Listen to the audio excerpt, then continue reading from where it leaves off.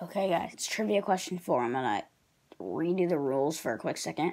I can't randomize it because everybody seems like maybe you guys aren't, but it seems like some of you guys are copying others, and I don't like that. So the first person always to comment on a trivia question gets it. The first person that gets it right will be shouted out in the next video.